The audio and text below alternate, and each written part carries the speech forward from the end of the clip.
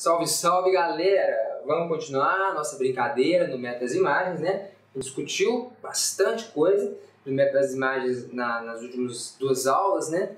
Então vamos fazer um exemplo, só para a gente ver como é que a gente aplica de forma mais direta. Lá a gente demorou muito, porque eu estava te explicando como é que é o, o, método, né? a física por trás, os conceitos. Mas, por exemplo, te dou um problema que é o seguinte: tem um plano infinito aterrado, potencial zero Aí eu tenho uma carguinha menos 2Q a uma altura D e uma carguinha Qzinho na altura 2D. Minha pergunta é, qual é a força elétrica que vai atuar nessa carga? Ponto. Essa é a pergunta. Então, de forma bem direta, você sabe que é o seguinte, ó, a força que vai atuar naquele cara vai ser dada pelo seguinte, ó, a força elétrica que atua nele, vou chamar essa carguinha aqui, por exemplo, de carguinha 1, pode ser? Então vai ser a força que a carguinha 1 faz que vai ser uma força de quê? De atração, né? Aqui, ó. Vai ser uma força que vai estar assim, ó, F1. Concorda?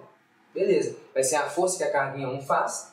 Uh, fechou? E aí vai rolar uma indução maluca de cargas nesse plano, vai ter um tanto de carga induzida. Ou seja, esse plano vai fazer força naquele cara.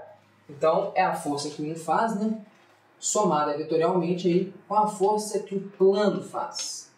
Mas como que eu pego a força que o plano faz? Complicado, aquela história, difícil de calcular pega a força das cargas e imagens. Toma cuidado que agora eu tenho duas cargas, é só eu fazer a imagem desses caras. Então fechou, vou continuar esse cara aqui vamos pegar a continuação desse eixo. A imagem desse cara, ele a uma distância D. De novo, imagem, como se aqui fosse um espelho plano. Se ele a uma distância D, pum, é só eu rebater. A uma distância D lá embaixo, vai estar a imagem desse cara, beleza? E troca o sinal, lembra disso? Não trocava o sinal sempre? Você pode pensar que esse sinal tem a ver com, tipo assim, o, o DI, né? Então aqui eu tenho um DO, distância do objeto à imagem, beleza? Aí aqui eu tenho imagem virtual. Se a imagem é virtual, beleza? Então a distância da imagem, ah, desculpa, distância do objeto ao espelho, DO, beleza? Distância da imagem ao espelho. Se eu tenho uma imagem virtual, esse valor é negativo, né? Depois a gente vai abordar isso com calma daqui a pouco, num videozinho com outro exemplo. Mas você pode pensar nisso. Então entrou para dentro, troca o sinal. Beleza? Então agora eu tenho que pegar a imagem desse cara. Pum, rebata ele para cá. A imagem dele. Tá? Aqui troca o sinal. Seja mais que, aqui fica menos que. Coloca as distâncias aí, ó. Então, se essa distância é D, a imagem também está uma distância D. Espelho plano, não tem segredo não, né? D. Se esse cara a uma distância 2D, o objeto a uma distância 2D, a imagem também tem que estar tá isso aqui também vale 2D. Então fechou. Se eu quiser saber, pessoal, vamos dar uh, um nome aos caras aqui, ó. Chamar esse aqui de carga 2 e carga 3. São as cargas imagens, certo? Se eu quero saber a força que o plano faz, o que o método das imagens me fala, é que é só eu pegar a força que as cargas imagens fazem. Então eu pego o F2 mais o F3. Conclusão, meu problema se reduz então a calcular forças entre cargas pontuais.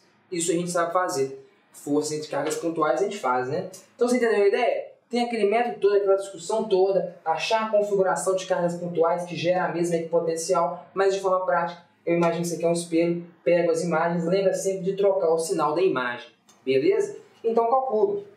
Vamos fazer essa conta aí, ó. Como que é a força que o 2 gera ali, ó? Então vai ser uma repulsão, né? Por que repulsão?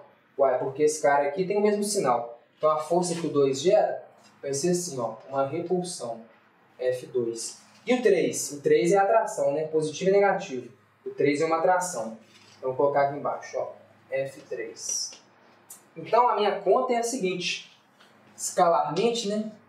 Aqui eu coloquei vetorialmente, mas escalarmente é o quê? Eu vou somar a força 1 com a 3, as duas estão para baixo, subtrai dá 2. Então F1 mais F3. F1 mais F3 menos F2. Concorda ou não? Captou a ideia? Então é isso. Então, uma atração desse cara, não é isso? Uma atração do 3, de acordo? Beleza. E uma repulsão do 2. Certinho. Então é só a gente fazer essa conta. Como é que calcula essas forças? Lei de Coulomb, né? Força entre cargas pontuais. Então você sacou a ideia do das imagens? Simplifica demais um problema complexo desse. Então tá aí. Vamos calcular uma por uma aqui, ó. Vou colocar aqui, ó. F1 é K, né, 1 sobre 4πy0, produto das cargas. Então a força que a carga 1 faz no Qzinho. O produto das cargas em módulo, 2Q vezes Q, 2Q quadrado. Dividido pela distância ao quadrado. A distância entre eles é D, né? É 2D menos D. Isso aqui vale D. Então dividido por D ao quadrado. Simples. O que eu posso fazer? Posso só simplificar esse carinha aqui, né? Vai ficar então Q quadrado sobre, dividido por 2 vai ficar 2 aqui. 2πy0 D quadrado. Fechou. Faça a mesma coisa, a força que a carrinha 2 faz. K, Q1, Q2 sobre D ao quadrado. O K, 1 sobre 4πy0. Produto das cargas, o 2 é esse. O produto, mesma coisa, 2Q vezes Q. 2Q quadrado.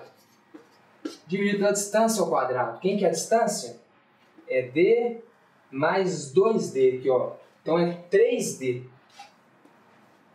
3D quadrado. De novo, posso cortar isso aqui com isso, sobra um 2 aqui.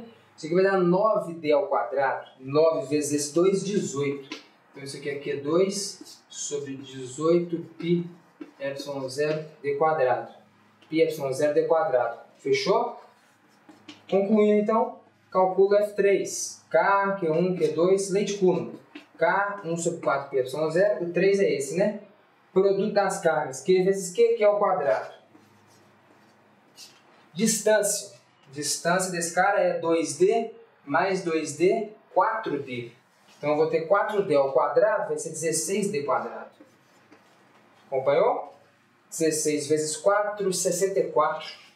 Então, Q quadrado sobre 64 πy0d2. Beleza, e agora? Jogo aqui. Só jogar aqui que eu vou achar a força elétrica naquele cara. É F1 mais 3 menos 2. Isso mais isso menos isso. Que, que a gente pode pôr em evidência? Perceba bem, tem um termo em comum em todo mundo, ó. Que é esse cara aqui, ó. Em todo mundo aparece Q quadrado pi epsilon 0 D2 aqui, ó. Q quadrado pi epsilon 0 D2 aqui também, ó. Q quadrado pi epsilon 0 D2. Então, se eu vou fazer essa soma aqui, posso pôr esse cara em evidência, beleza? Então, vou colocar q quadrado sobre π epsilon 0 d quadrado. Então, como é que fica a minha soma? 1 mais 3, se eu coloquei esse fator em evidência, no 1 vai sobrar meio. Mais no 3 vai sobrar 1 sobre 64. Então, é 1 sobre 2 mais 1 sobre 64. 1 sobre 2 mais 1 sobre 64. Menos F2, menos esse cara. Colocando esse fator todo em evidência, sobra menos 1 sobre 18. Então, menos 1 sobre 18. Então, tá aqui, ó, menos 1 sobre 18. Tá aí, pessoal. Essa é a força que atua naquele cara. Legal, né? Então, essa é a resposta do nosso problema. Captou a ideia? Sacou? Então, seja de novo. Qual que é a grande riqueza do método das imagens? é pegar um problema super complexo desse e torná-lo simples. Você reduz o problema a calcular forças entre cargas pontuais. Se ele pedisse o potencial no ponto, o campo elétrico no ponto, é o campo, né, a sobreposição do campo que essas duas cargas geram, mais essas duas cargas geram. Por quê? Eu tenho que calcular os efeitos que o plano faz, mas os efeitos do plano são os mesmos efeitos das cargas e imagens. Então, eu resolvo o problema dessa forma. Esse carinha que é complicado, a força eletrostática que o plano faz naquela carga lá de cima, basta calcular a força que as cargas e imagens fazem. Tranquilo? Pessoal, então fechou. Vamos na próxima aula fazer mais um exemplozinho diferente, mais puxado um pouco, mas a ideia do método é essa. Pensa um pouco sobre ele, digere essa informação e a gente se encontra nas próximas aulas. Valeu, gente. Até a próxima.